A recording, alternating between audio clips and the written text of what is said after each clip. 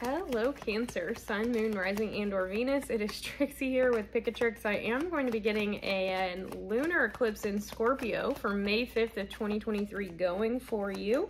Thank you so much for tuning in, liking, sharing, and subscribing to the channel, whether you're new or returning. I'm going to be using the Rider-Waite Tarot here today, and I'm going to clarify with the mystical moments, and I will wrap up your reading with an Oracle of the Mermaids and Dolphins. So I do recommend checking out all of your big four. However, if you're not feeling well, seek out a doctor as I am not a licensed physician. And if you're interested in more information on the lunar eclipse energies, there are a couple links down below in the description box for you to Molly McCord and Pam Gregory's information on that. So, something in your life is just kind of being like easily removed at the same time that something is really being highlighted that you need to focus on instead. Um, Scorpio really sometimes can bring in a crisis moment or an unexpected um, accident or turmoil that really highlights where you need more attention, you need more growth, more wealth, more focus. And so let's see here, Cancer. I am picking up on the energy that there's movement forward for you here in the next four to five weeks, okay? Um, yeah, Ten of Swords in reverse on the bottom of the deck. So um, coming out of some cycle that has really been painful and destructive. It's caused you a lot of endings, stress, fear, worry. Um, so yeah, oh wow. Okay, so the Nine of Swords, yeah, you're up in your head about this big change, this big shift, but um, your world is literally closing out one section and it's going to start fresh as the Fool. Um, there is a messenger here showing up, okay, with the Page of Wands, the World. You also have Strength here, and the Tower is reversed. So overall, I do see here where you're very aware of the shift and the change in you that needs to happen, but it's more, I feel like this worry is like, am I doing this right? Am I going the right way? Do I, like, it's almost like somebody is validating you, um, to get through whatever this cycle is. I mean, you have Ten of Swords here in the Tower, both in reverse. Um, so overall, you're very, very, very prone to being able to see the shift and the change that has to happen, and you're avoiding necessarily um, a tower moment because while you are probably at night up in your head, those thoughts are protected by an internal being or somebody that you're having conversations with that's really allowing you to process the change and the shift that is moving forward. Um, being that here, uh, Taurus, Leo, um, Aquarius and Scorpion energies are on the world card, you might have a grand trine or a grand square or a grand cross in your chart. And that's something you're going to want to evaluate. Um, you know, Molly McCord even has videos going right now about the Grand Cross that we're going to experience in the next four to five weeks. And this Scorpio lunar eclipse is really creating some situations in your life where if you have zero to two degrees in um, any of the fixed signs, you might really be feeling this. Overall, the message is here. It is divinely timed for you. The tower comes in in a divinely timed moment, and being that you have the strength here, Cancer, paired with it tells me that you know that whatever shows up for you, you have to partake. You have to be a part of it. It's meant for you. This will not come back around. This is something that you instinctively know. You have to find the inner strength to tame something inside of you and deal with it, accept it, acknowledge it. Um, this leads to a legacy. The Page of Wands is somebody who got, goes out into the world because where he is at is barren for him and him alone. And he eventually becomes the King of Wands who turns into the Emperor and literally rules um, an entire land of people. He enforces taxes and receives income because of other people's efforts. So you could be getting into a job that involves commission even, I'm hearing. Um, you might have a promotion on the horizon. Um, your socioeconomic status may be changing or the circles that you work in or move in may be changing. Um, you're letting go of something, though, that has really kept you trapped and stuck in your mind and just really, really, um, over the next four to five weeks, it's like the, the energy just gets easier. Um, on this card here with the page, it's very barren. There's like desert land and some, you know, here. And then going into the strength card immediately after, you have all this lushness, this beautiful energy where there's even a stream on the card. and there's animals. And so I, I see here where things are, seem a little barren, they're going to blossom throughout the next four to five weeks for you here, Cancer. A lot easier, a lot simpler of energy. Let's clarify with the mystical moments and find out what's going on. Justice.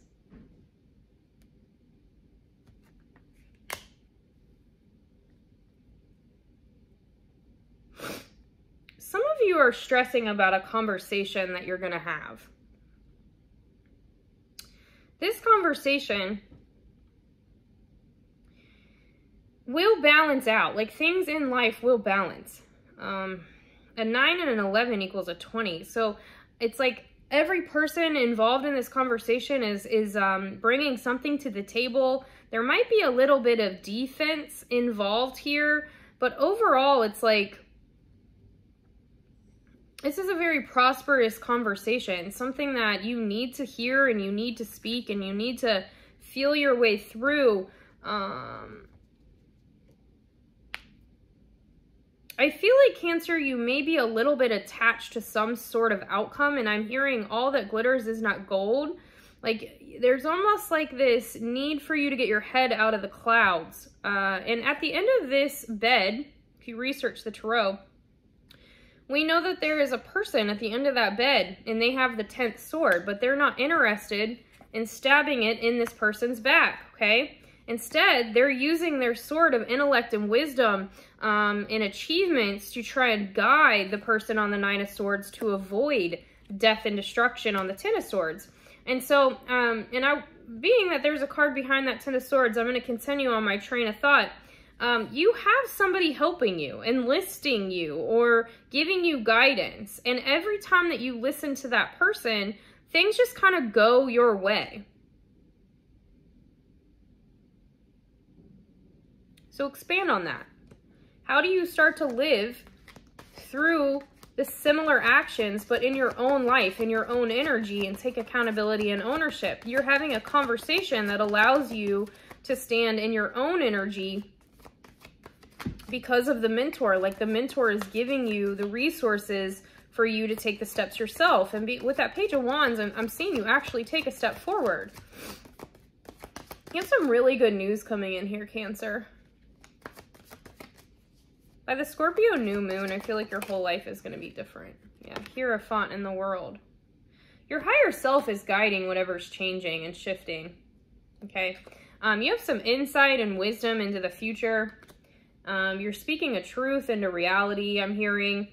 Um, there's just something here about a mentor in your life that's really going to give you um, a completion, an, an acceptance, a self-evaluation, a, a trust in your own divinity, a trust in the divine that you believe in, be it God or Allah, Muhammad, um, Buddha, it doesn't matter.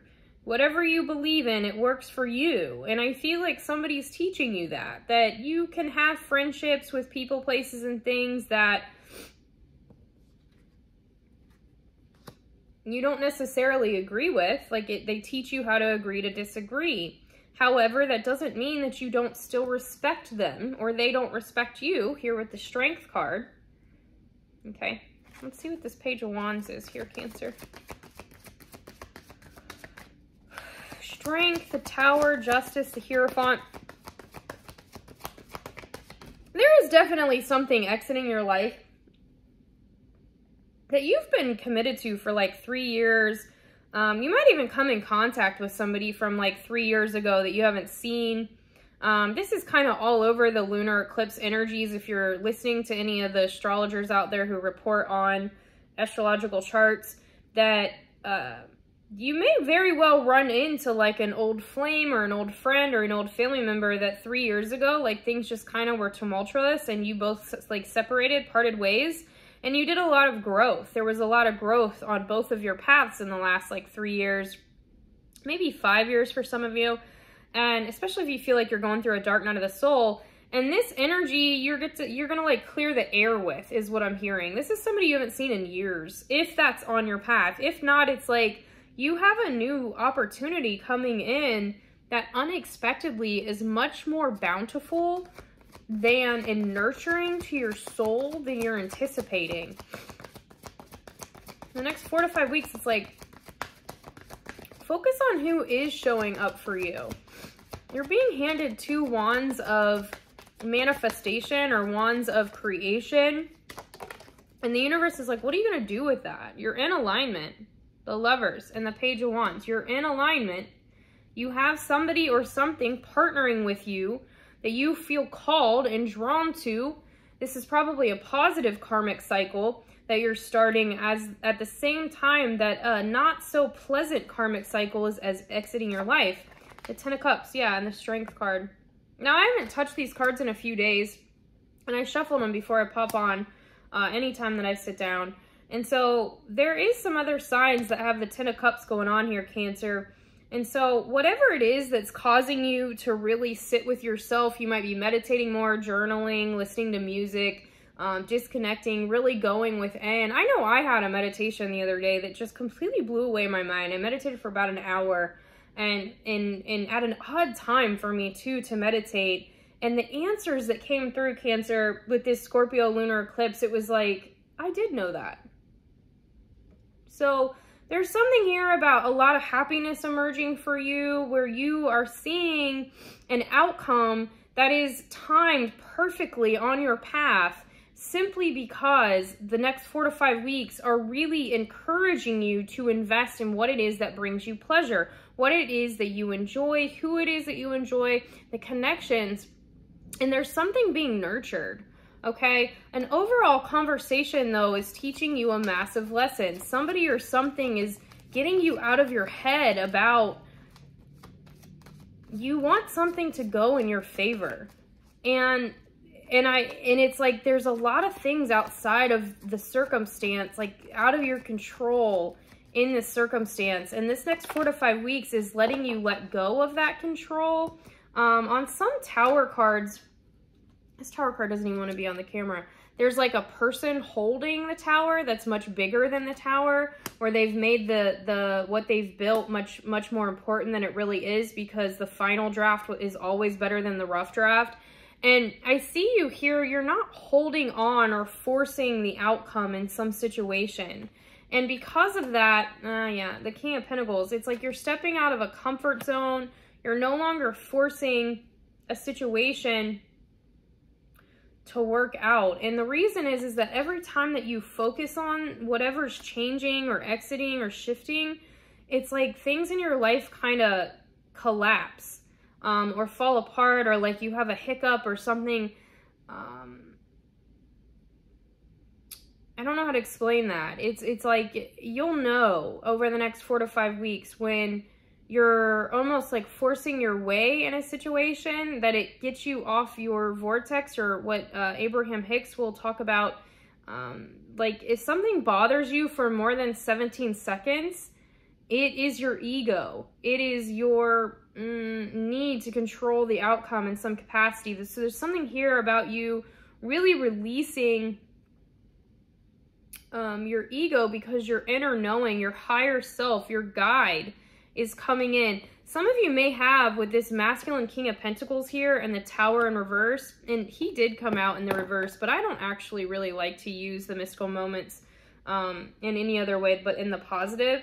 And so it's something that you could even be going through a really big father healing and not even know it. And when you come out this four to five weeks, you're like, oh my gosh, why did I prescribe to that?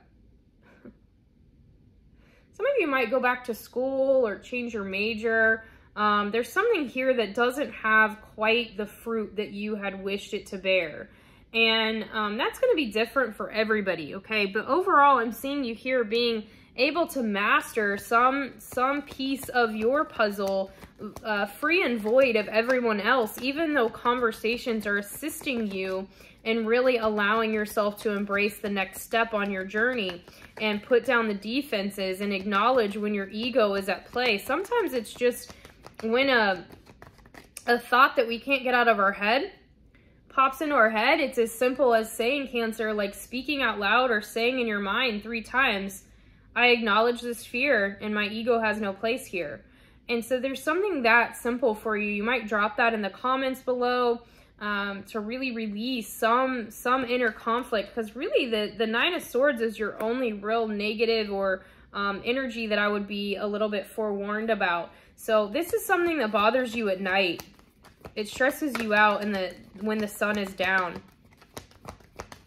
Um, this four to five weeks, you're going to have a lot of fun, a lot of pleasure, experience a lot of uh, connections with people that may be existing and may have uh, you separated ties from in the past. But overall, I just see this energy of really embracing some big change because you know it's time. Your head, your heart is on board, even your soul there with the Page of Wands and the Lovers paired.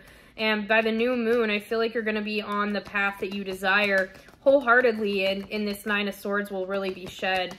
Um, I also feel like telling, yeah, ready, set, go. Now is the perfect moment to dive in and embrace your heart's desire. So I think I'm going to leave it there and um, not keep cycling on this. Uh, you definitely need to set your your heights, your you know your sights a little bit higher over the course of the next four to five weeks, and you're going to be having the conversations that really allow you to do that. So with that said, make sure that you're checking out all of your big four. I'll get at you next time.